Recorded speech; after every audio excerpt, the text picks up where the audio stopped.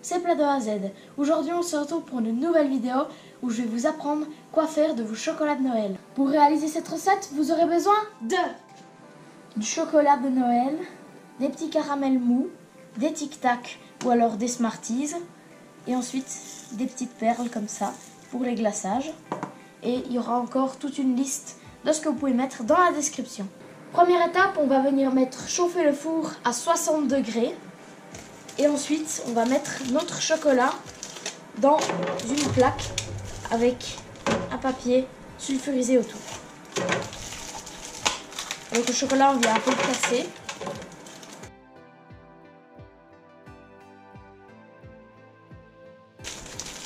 Et il faut qu'il y en ait bien partout donc.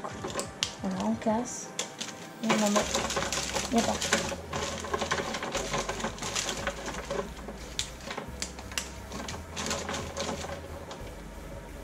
On vient mettre notre préparation pendant 8 à 10 minutes au four. Dès la sortie du four, on va venir mettre nos ingrédients choisis dans le chocolat. Vous dispersez ça un peu partout.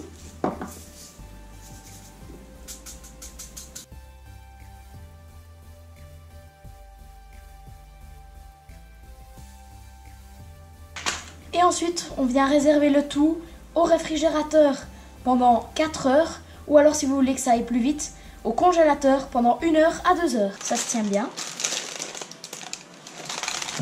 On va casser le petits bouts. De la grandeur que vous voulez. Moi, je décide de faire à peu près comme ça. Et on va, avec nos petits bouts, remplir des sachets. Vous pouvez aussi mettre dans des bocaux ou dans des boîtes à biscuits. C'est comme vous voulez.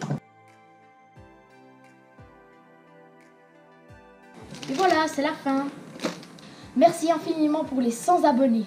N'hésite pas à liker, partager la vidéo et me retrouver sur tous les réseaux sociaux. Tous les liens sont dans la description ci-dessous. Et si tu testes cette recette, tu peux m'en envoyer une photo. Et t'abonnes à ma chaîne YouTube. Ciao